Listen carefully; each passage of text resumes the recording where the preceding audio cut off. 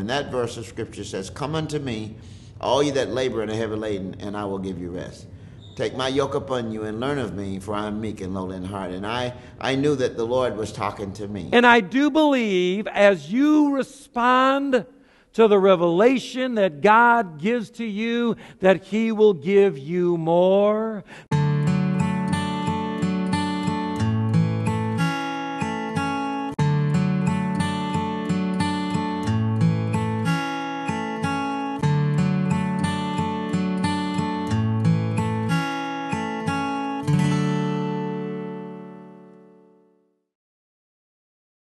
Welcome to Pacific Garden Mission. And as you can see, winter is here, and it is difficult for the homeless. I spoke to a young man in our day room yesterday, a 25 year old man, and I asked him what brought him here, and he said, I'm homeless for the first time. Imagine in conditions like this, with temperatures at night going down into single digits and at times below zero, with a fresh blanket of snow, with a, a suitcase and luggage, and nowhere to go. Boy, that's tough. But I am so thankful that Pacific Garden Mission is here, and it really is a lifeline to those that need help. I want you to listen today to these testimonies and to the message, but I want you to continue to pray for Pacific Garden Mission. This is a difficult time for many of the homeless, and thank God that we are here. I want to invite you inside so you can see what God is doing through Pacific Garden Mission. Thank you, and God bless you.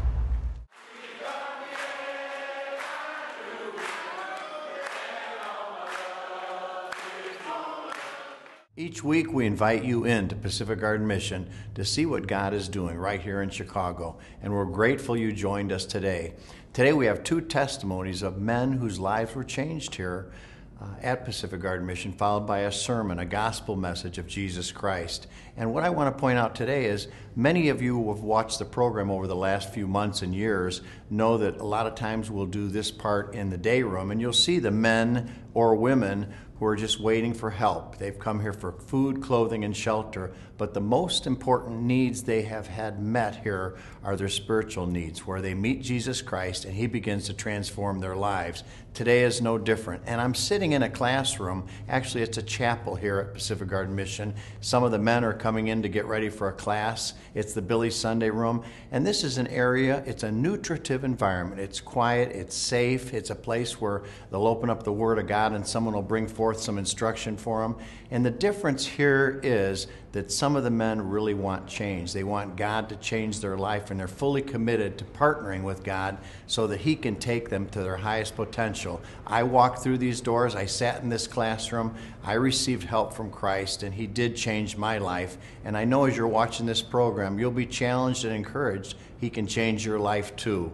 No matter where you are, we're all a work in progress, and God wants to take us to our highest potential until we meet Him personally in heaven. So be encouraged and challenged as you watch these testimonies. These are two men that walked through these doors years, years ago, and they are now pastors and leaders here at Pacific Garden Mission. One is Pastor Percy. We're going to start with his testimony first, and then we're going to finish with our mission chaplain, Pastor McNeil, two outstanding men of God who want to share what God is doing in their lives. Amen. How many got amen tonight? All right, I think it's say, somebody say amen real quick just for practice, amen. Amen. On count of three, we're going to sing now. One, two, three. When I was 16 years of age, I joined the street gang over on the west side of Chicago. And I was affiliated with that gang for a number of years and got myself into trouble quickly. I was dealing drugs, involved in gang activity. And I was sent to the state penitentiary at the age of 17. I was released after being there for two and a half years. Uh, and I learned absolutely nothing the first time. Went right back that same summer, 2002. It was in October 2002 the Lord got my attention. And I got saved um, in Cook County Jail in 2002 of October. Um, God got my heart. I began to read the Bible behind bars in prison. I began to go to Bible studies, and we had people come in from different churches who would conduct um, gospel services similar to what we do here at Pacific Garden Mission today. And so I went to those services. The Lord got a hold of my heart, and upon being released from prison, uh, I was sent here to Pacific Garden Mission, which to me was definitely divine providence. In fact, um, I had family here who I could have went home to live with. Um, but while I was in prison, I would think by providence again, my family moved to Jackson, Mississippi. And the way it works with the parole system, if your family is out of state, I wasn't allowed to parole out of state. And so I found myself having nowhere to go for the first time in my life. And so I talked to a counselor in prison, and we sat down and talked, and she looked for somewhere for me to go. First thing came up was Pacific Garden Mission. And so I said, okay, well, I didn't know anything about the mission. Okay, I'll, I'll go. And so I came here to Pacific Garden Mission again, December 30th of 2004, um, on parole from state penitentiary. Um, right away, I joined our Bible program, which is for one year here at PGM.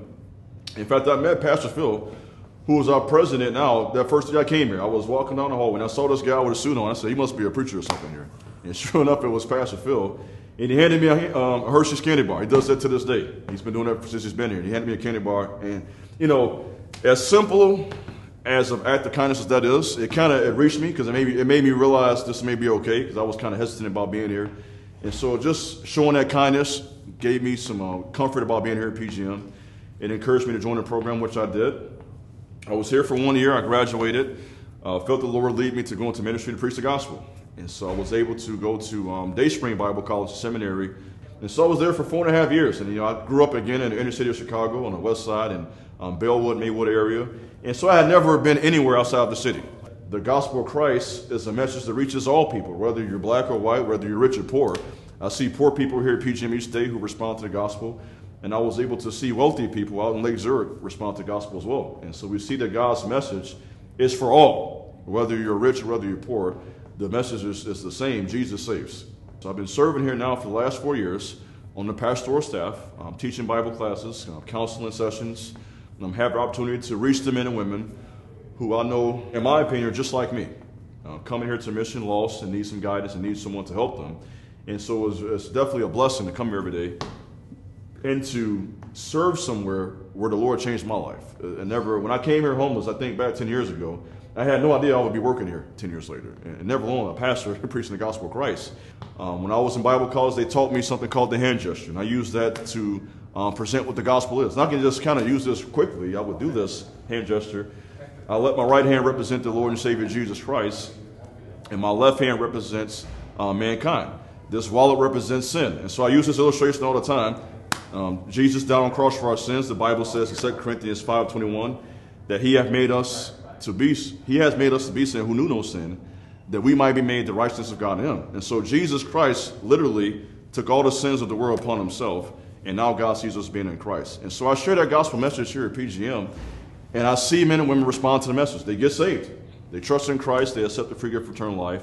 And I see some of those same, same men and women have an opportunity to join the program. The New Life program, which is geared towards discipling men and women, and I see men join the New Day program, which is geared towards um, addiction recovery. And that's a huge problem here at Pacific Garden Mission. We thank God that our president had the vision to start their ministry, and we're praying that men will respond to that. And we know it's a need. Men here need to be set free from strongholds to addiction. But the first step is always giving them the gospel, which is, um, in fact, the gospel can be summed up in 10 words. It's a simple message Christ died for our sins, rose from the dead. That's the message. And that's the message that's been preached at Pacific Garden Mission, I would say the whole 138 year history. And so we thank God for that. I've worked closely with both these men. Pastor Percy and I taught career development, and Pastor McNeil has been a great friend of mine and an inspiration because he discipled me when I walked through these doors and encouraged and helped me even through my marriage here at Pacific Garden Mission. So I'm grateful to introduce him next.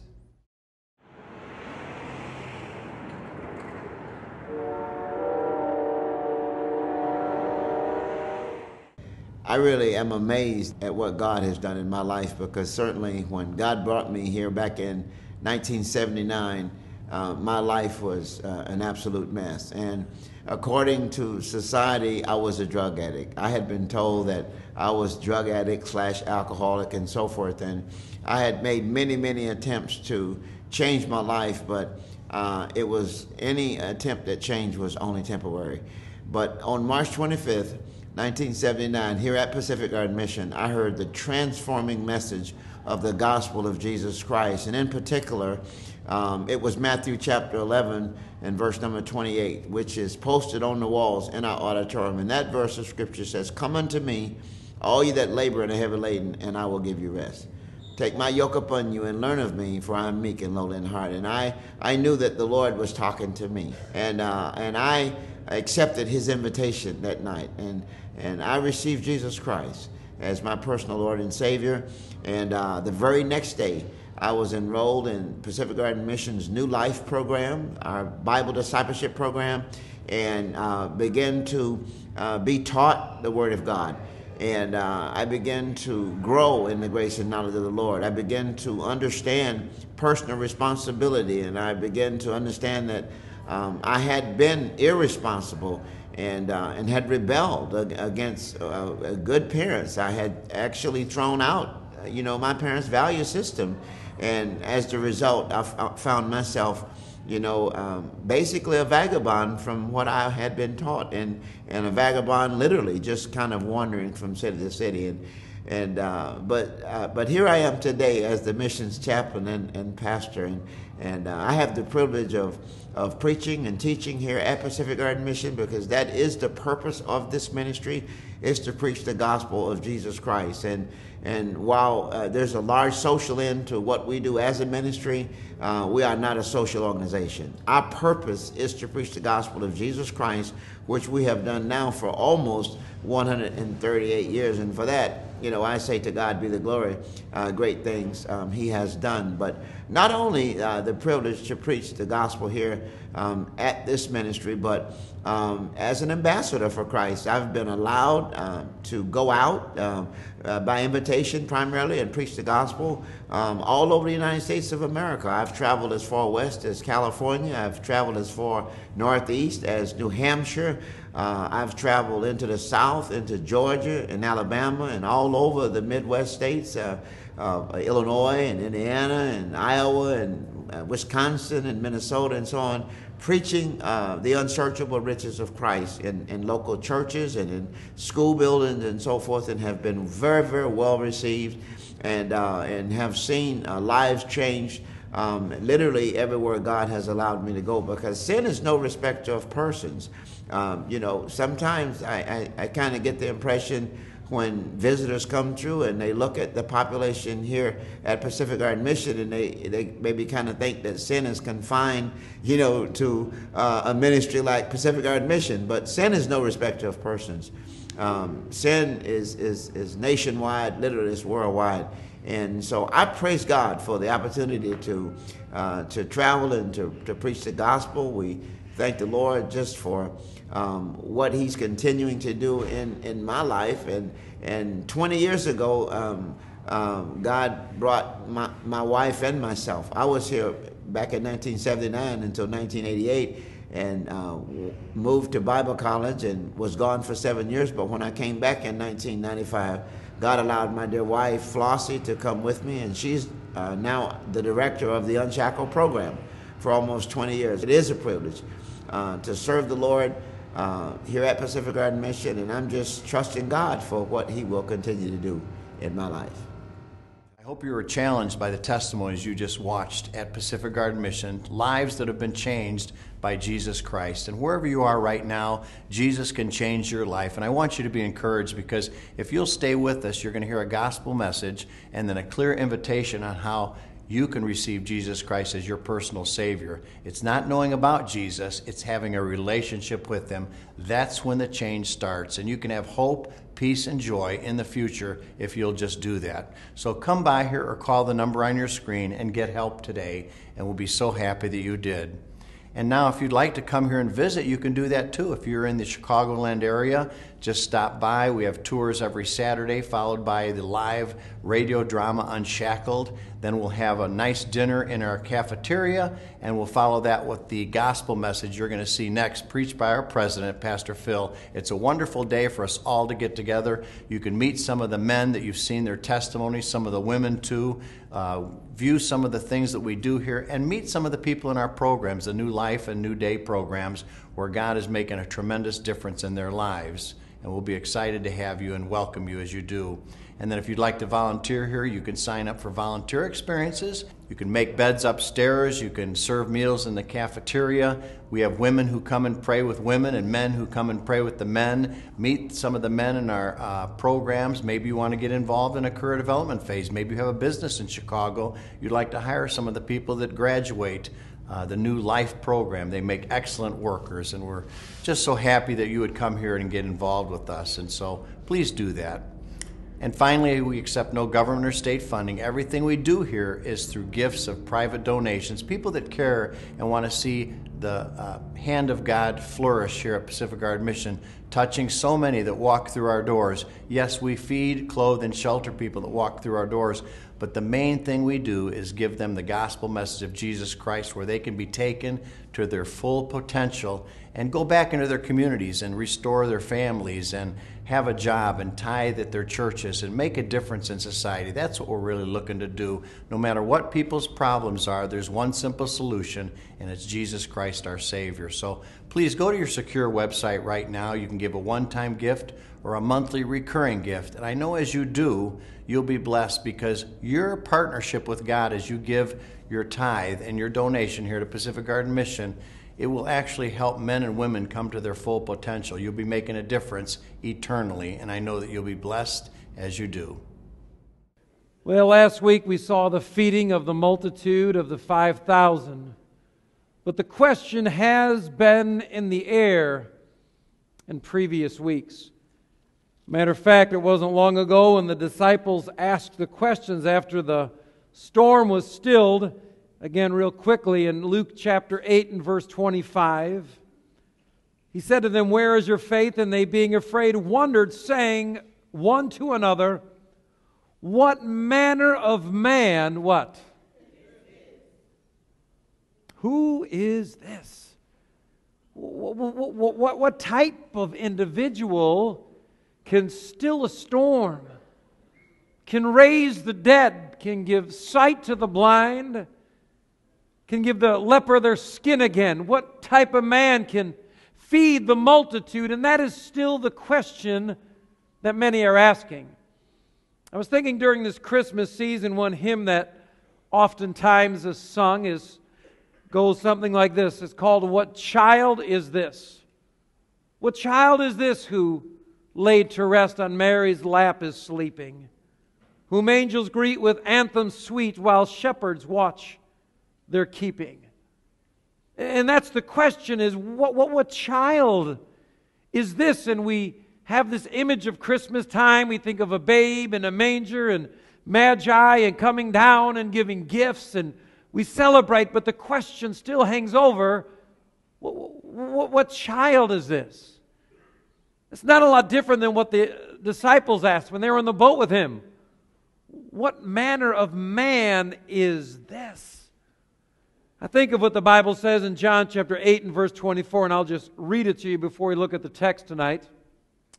Jesus said, I said, therefore unto you, that ye shall die in your sins, for if ye believe not that I am He, ye shall die in your sins.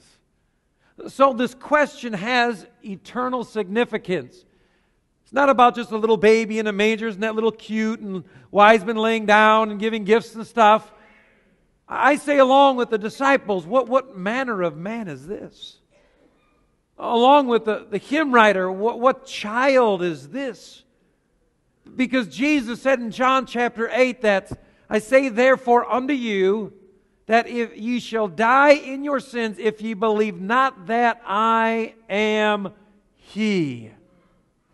You better know who I am because your salvation depends upon it. Matter of fact, in Luke chapter 9, we're going to look there. Luke chapter 9 and verse 18 came to pass as he was alone praying, his disciples were with him.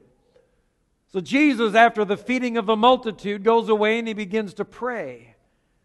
As he's praying, his disciples are there with him, and he asks them, saying, Whom say the people that I am? So we're going to see this question answered. But that's an amazing question. The question that the disciples asked not long ago after the stilling of the storm.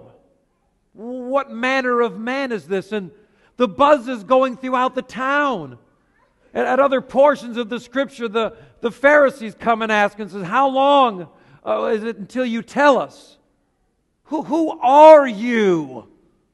What type of person is saying what you're saying? And, and, and doing what you are doing. So Jesus asks the disciples, Whom say the people that, who are people saying that I am? We're going to see some various responses. Number one, we're going to see the answer of the masses, the mass of humanity. It says, they answering said, John the Baptist. Uh, remember, Herod thought that maybe John the Baptist had risen from the dead again, and that's what some were saying. Some were saying that you are John the Baptist, a good, powerful preacher that was out there in the Jordan baptizing people and confronting people about their sin. Some say Elijah. Will the prophet say before the kingdom, before the glorious day of the Lord, that Elijah will come back? And that's who some are saying that you are. And others say that one of the prophets is risen again. Jesus asked a question Who do people say that I am? The disciples said, Well, the masses, the, the people are saying basically that you're human, you're a good guy, you're John the Baptist, you're one of the prophets, you're Elijah. That's what people are saying. You're a wonderful individual that is doing amazing stuff. You know, I know that question still lings, lingers over today. I was reading some quotes, and listen to this. I know men, and I tell you that Jesus Christ is no mere man. Between him and every other person in the world, there is no possible term of comparison. Alexander, Caesar, Charlemagne, and I, and this is Napoleon speaking, have founded empires, but on what did we rest the creation of our genius? Upon force. Jesus Christ founded his empire upon love and at this hour, millions of men would die for him. Again, Napoleon himself knew that there is something different. I know men and tell you that Jesus Christ is no mere man. I like what H.G. Wells said. Listen to this. I am a historian and not a believer. He's writing this not from the perspective of a believer. But I must confess that as a historian, that this penniless preacher from Nazareth is irrevocably the very center of history. Jesus Christ is easily the most dominant figure in all of history. All the folks that have ever lived and died, the books that have ever been written, the kings that have ever reigned. This man, not a believer, said, This man is the most dominant figure the noted interviewer, listen to what Larry King said. Larry King once said that if he could choose one person to interview from the course of human history, he would choose to interview Jesus Christ. King said that he would like to ask Jesus if he was indeed virgin born. He added, the answer to that question would define history for me. The answer to that question would define history. The question still resonates today by some of these quotes. The same with the disciples. What manner of man is this? Uh, Herod wanted to know, is this John the Baptist risen, risen from the dead? There was a, people were asking, is he one of the prophets? Is he, is he a preacher? The, who is Jesus Christ? I want to let that one quotation ring in your ears the answer to the question about the virgin birth would define history for me. You see, the Bible declares that Jesus Christ was indeed born of a virgin. It was declared in the Old Testament uh, by Isaiah, and we see it in the New Testament. But why was he virgin born? Well, real quickly, because Jesus already existed. I like Isaiah chapter 9, verse 6, and I'll read it to you. For unto us a child is born, unto us a son is what? Think about that. A child is born, but the son is what? The child was born, yes, in Bethlehem, but the son was given. You can only give something that already exists. Yeah, the child was born, but the son was given. And it says here, and the government shall be upon his shoulder, and his name shall be called Wonderful Counselor, the Mighty God, the Everlasting Father, the Prince of Peace. I think of Micah chapter 5, verse 2 But thou, Bethlehem Ephratah, Though thou be little among the thousands of Judah, yet out of these shall he come forth unto me that is to be ruler of Israel, whose going forth have been from old, from everlasting. Now, now, now, now think about that quotation for a moment. When the prophet Micah was talking about where the Messiah was going to be born, he named the city was Bethlehem, but he also was talking about his origins, and he said his going forth can never be pinpointed by time. It says because they are from everlasting. You see, he was virgin born because he had no origin in terms of time. He's from eternity, he's from everlasting. I think of John chapter 17, verse 5, Jesus praying, and he said, Oh, now, O Father, glorify thou me with thine own self, with the glory which I had with thee before the world was. Powerful quotation.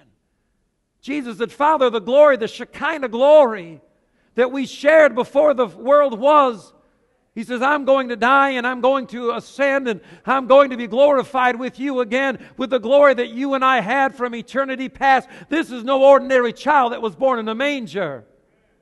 This is no ordinary baby that with the Magi came and saw. This is somebody from everlasting, from of old. This is somebody that shared the Shekinah glory with the Father from eternity past. Matter of fact, the Bible says in John chapter 1, verse 1, in the beginning was the Word, and the Word was with God, and the Word what? Think about that. Jesus was talking to the Pharisees and discussing Abraham, and I love John 8 58. Jesus said unto them, Verily, verily, I say unto you, before Abraham was, what did he say? That's powerful. Why is it powerful? How did God re- reveal himself to Moses in the burning bush? What name did God use? To, to any first century Jew, for a man to stand up and say, Before Abraham was, I am. Well, how did you know that's how they took it? Because the next verse says they picked up stones to stone him another scripture, Jesus asked, For what good work do you stone me? And they said, For a good work we stone thee not, but that thou, being a man, what? Makest thyself God. Well, we're stoning you not for what you're doing, but for what you're saying.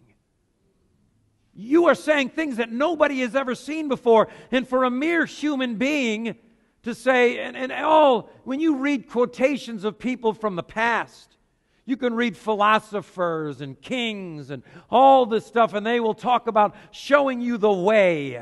Sometimes you can turn on television and somebody will get on there, and if you buy their CD and their program, they will teach you how to lose weight. They will teach you how to be financially secure. And I will show you the way. And I will tell you the truth. But Jesus Christ says something absolutely different. He said, For what?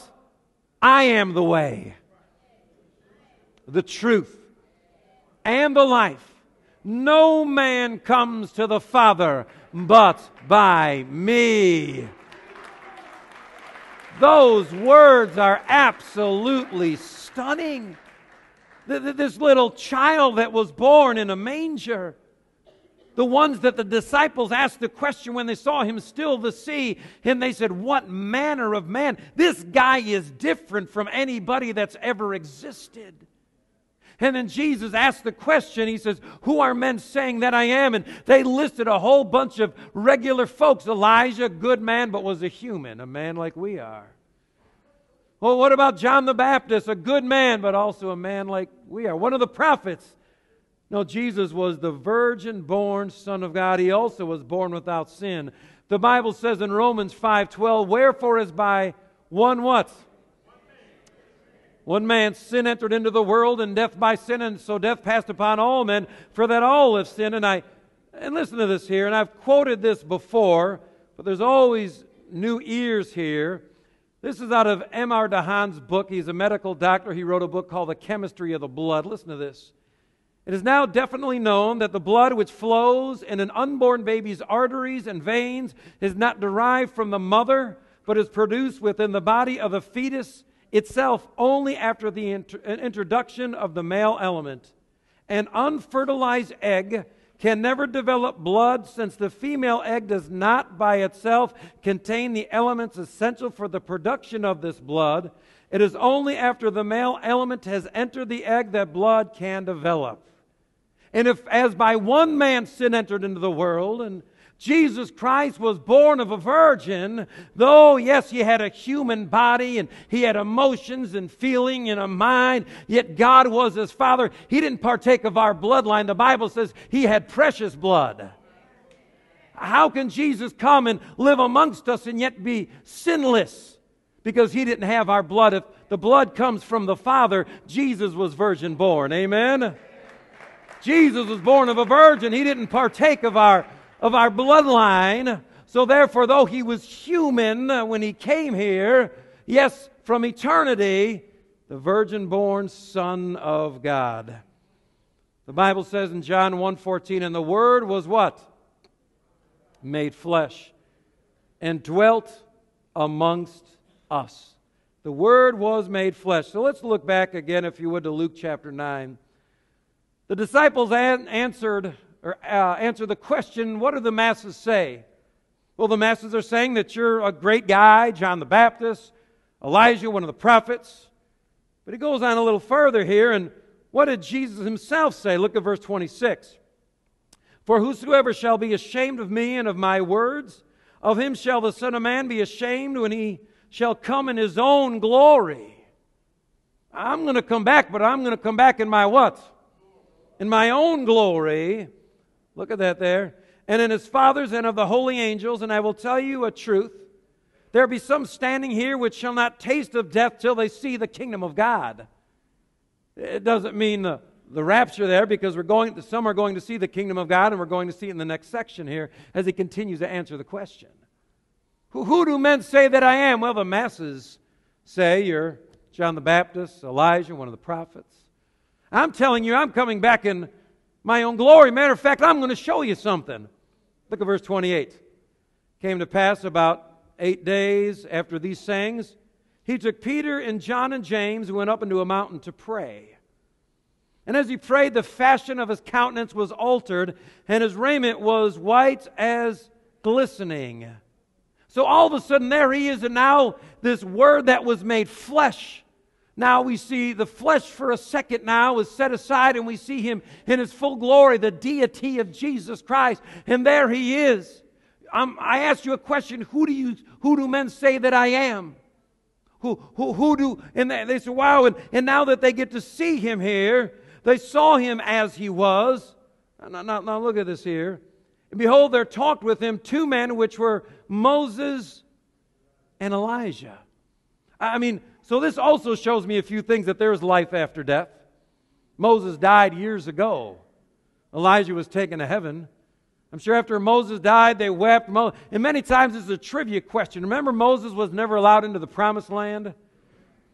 Sometimes somebody says, Was Moses ever in the promised land? Here he is right here. Amen. Little delayed, but he got there, right?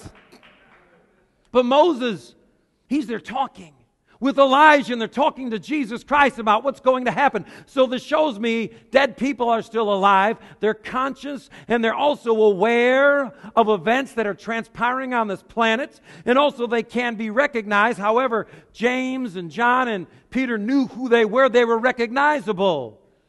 That, that, tells us that when we die, the Bible says to be absent from the body is to be present with the Lord. And there Jesus Christ is real quick, if you would, and we're still in the transfiguration, but I, I want to just again look at the answers uh, of the disciples. Look, if you would, to verse 20, then we'll uh, switch over again to the transfiguration. Verse 20.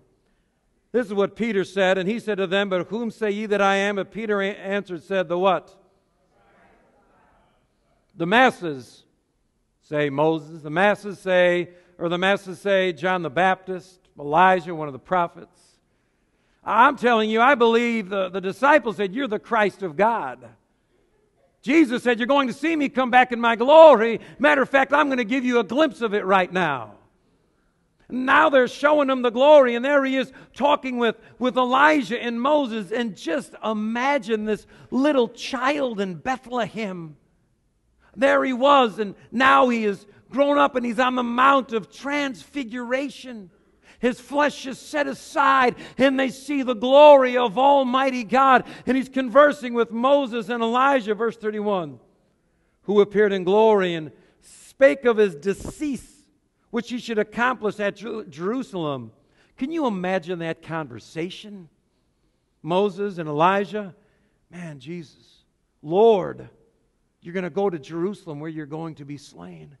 Eh, but, but I'm sure they knew it was for their sin because the penalty, the wages of sin is death.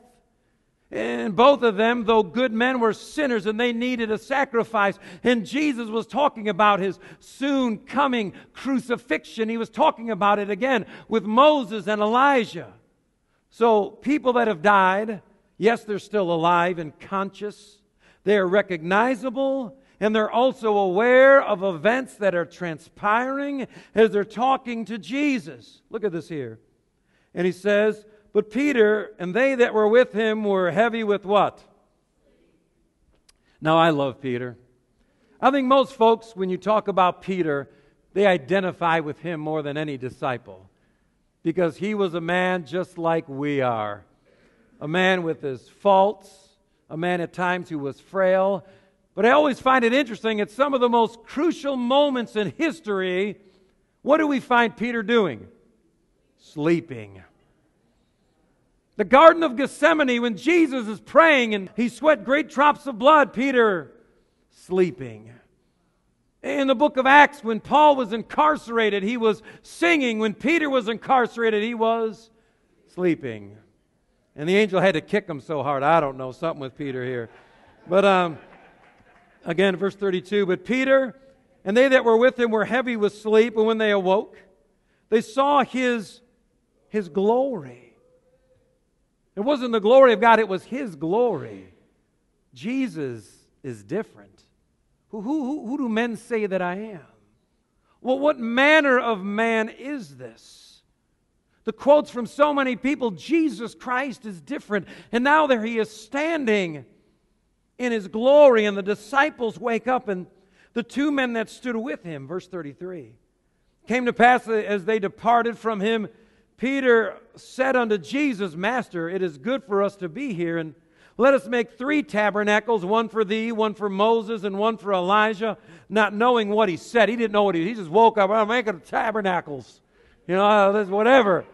He's really saying something no different than the masses were saying. Yes, he just declared that Jesus Christ was the Christ, the Son of the living God. But now, waking up out of his sleep, he wanted to put all three on the same plane. Let's make three booths or tabernacles for you and for Elijah and for Moses. So we heard the question, or the question was asked Who do men say that I am?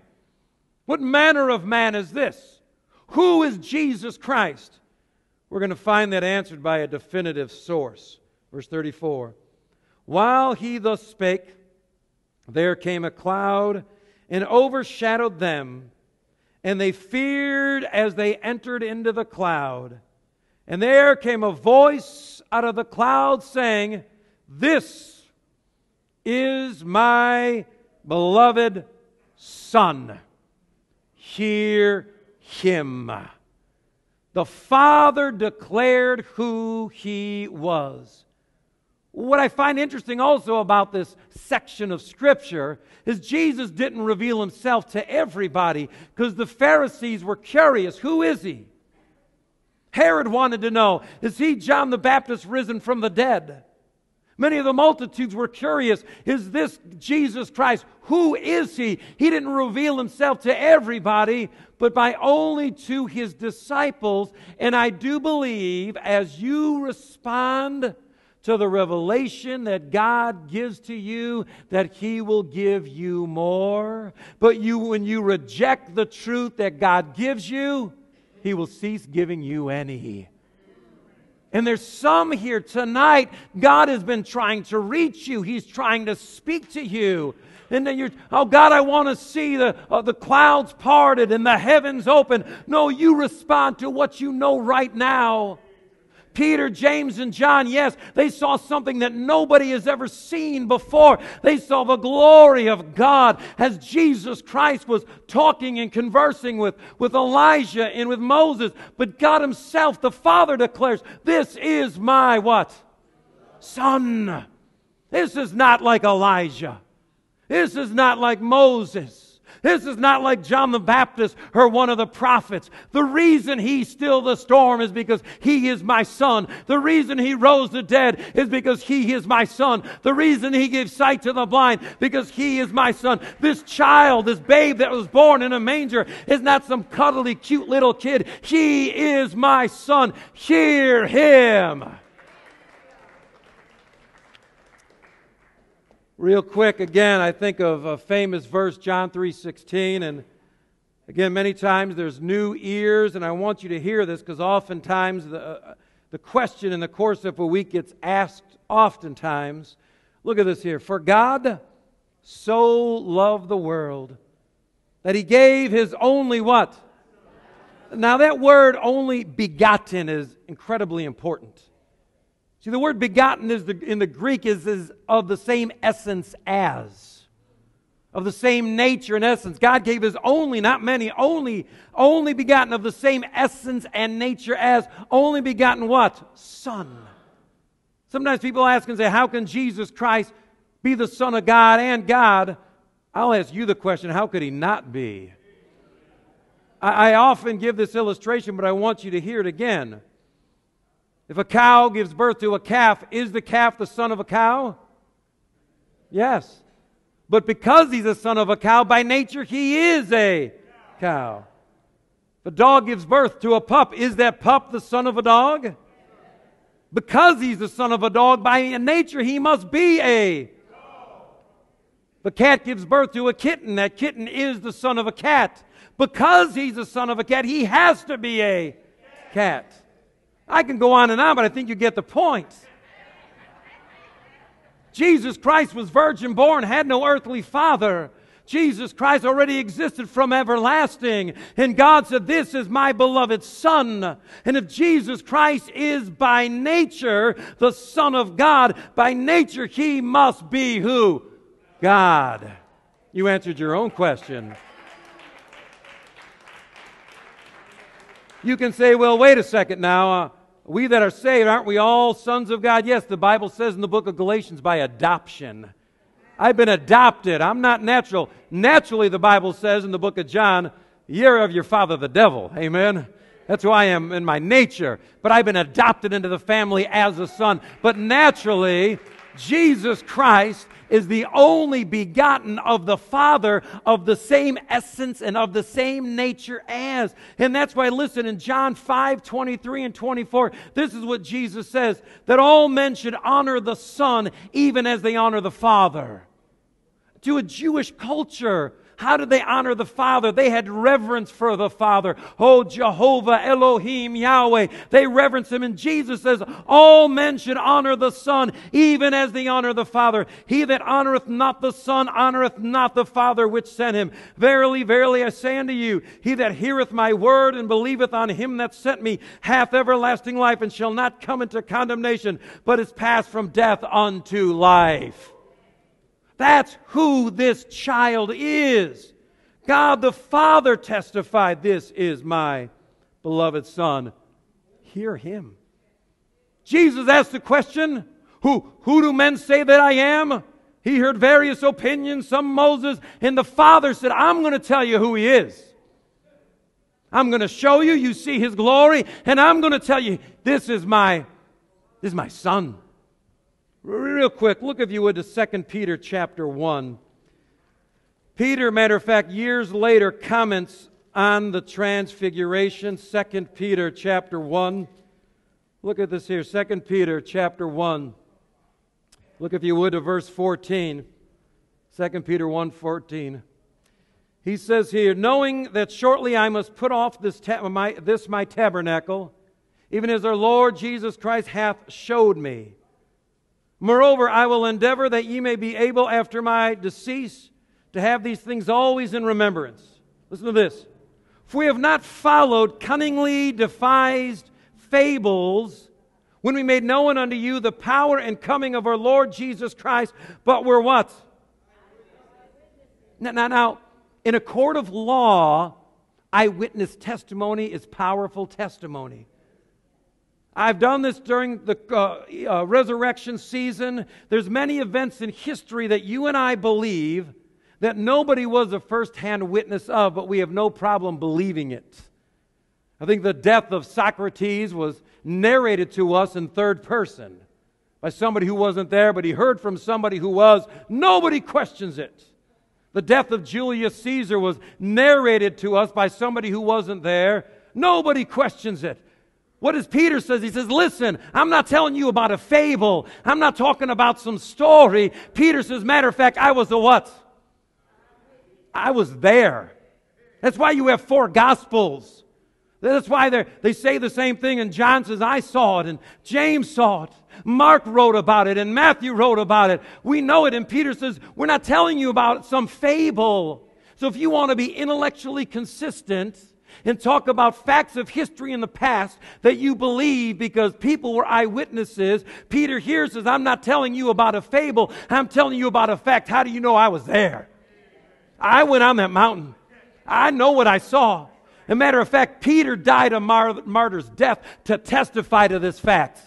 Peter, the fisherman, who when Jesus Christ was alive, denied him and ran away temporarily. After Jesus Christ died, what did he have to gain? Unless I saw it. And I want to tell you, I was there. This stuff happened. Look at this here. For we receive from God the Father honor and glory when there came such a voice to him from the excellent glory, this is what Peter says This is my beloved Son, in whom I am well pleased. And this voice which came from heaven, he says, What? We heard. I'm not giving you a secondhand testimony. You see, that's how when you look in history, you say, prove it scientifically. You can never prove science, you can never prove history scientifically, any event in history. Because you have to recreate it in a laboratory, and you can't recreate history in a laboratory. What you do is you get firsthand testimony. Did somebody see it? Was there numerous witnesses? Did they write about it? Peter says, I saw it. James saw it. John saw it. We were there. He said, and this is the voice which came from heaven. We what? we heard when we were with him where? In the holy mount. He asked us a question Who do men say that I am? Oh, yes, some John, some Elijah, some the prophets. Who do men say they am? Peter, you're, you're the Christ of God, the Son of the living God. Who do men say that I am? Let me take you and show you for a second. And they saw his glory as he conversed with Moses and Elijah. And Father ended the debate and said, This here is not Moses. This here is not Elijah. This is not one of the prophets. This is my virgin born Son, Jesus Christ, the Holy One. Listen to him. End of debate.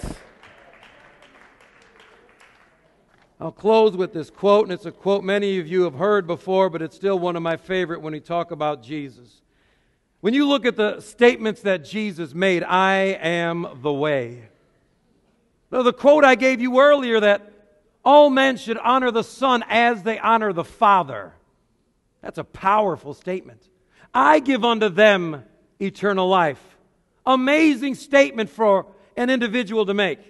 This is a quote by C.S. Lewis, and this is what I'll, I'll close with. Listen to this. And I want you to hear this.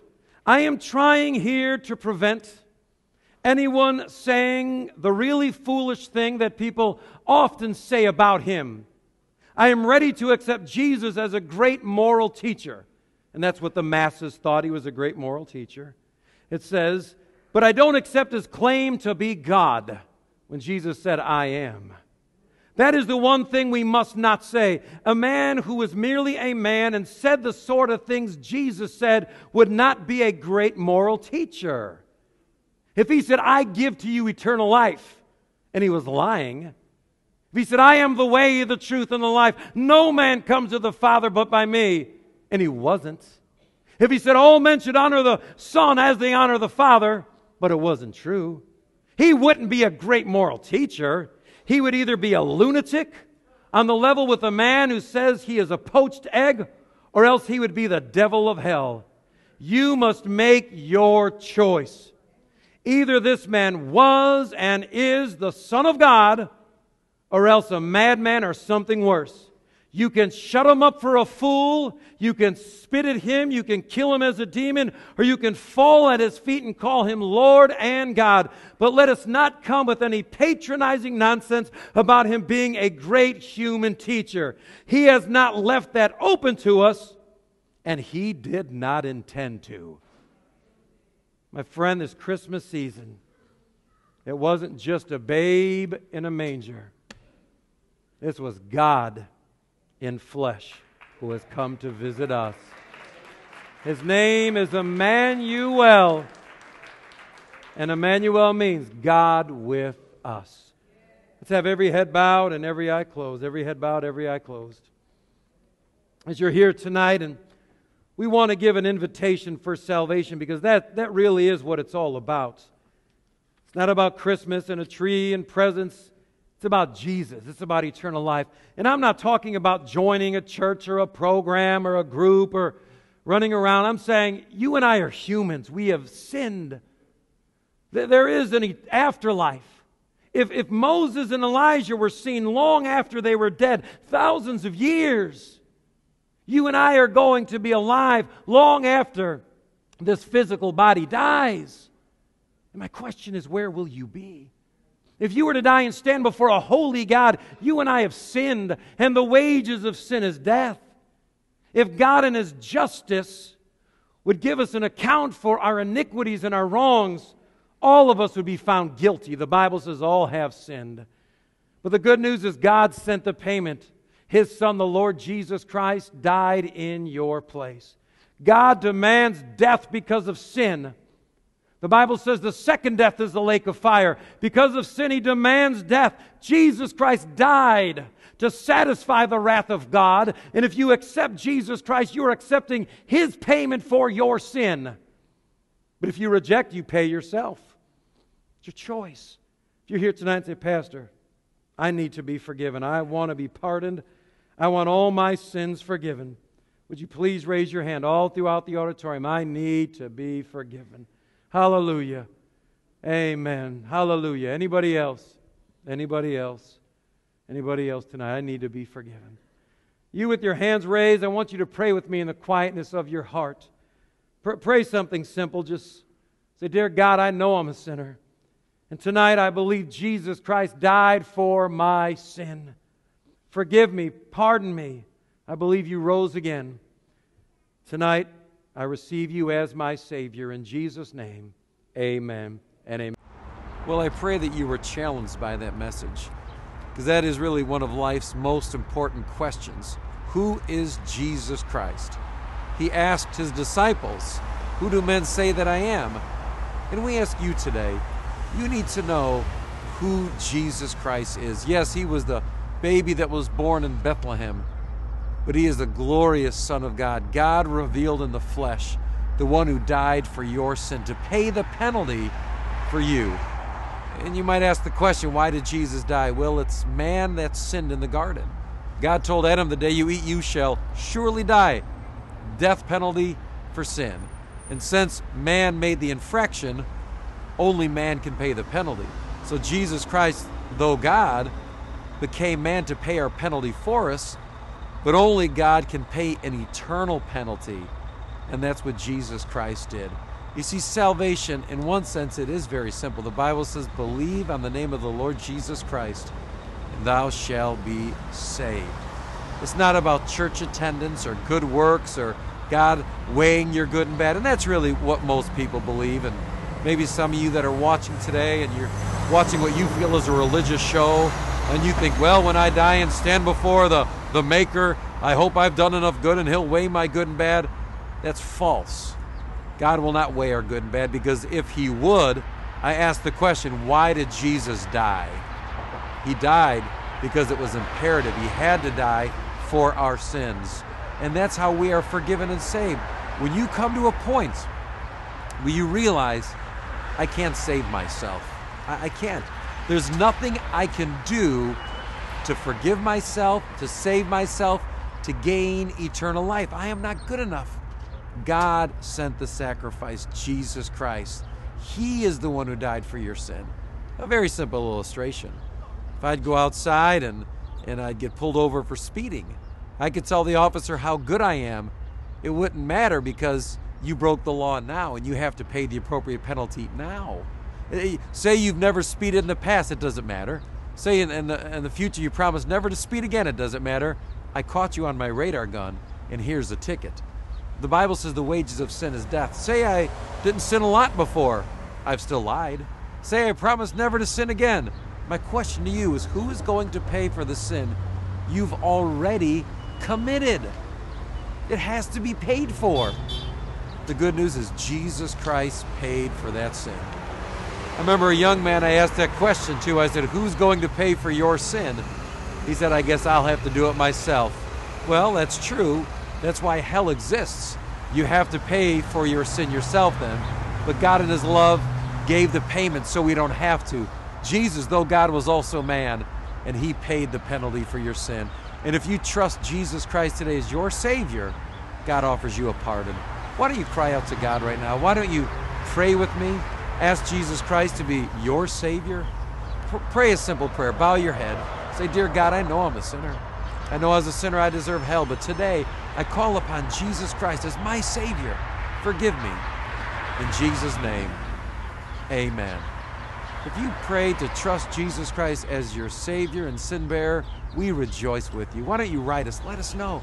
If you just enjoy this program, when we get your letters, we are excited why don't you let, let us know what God is doing through this program in your life? God bless you and thank you for watching.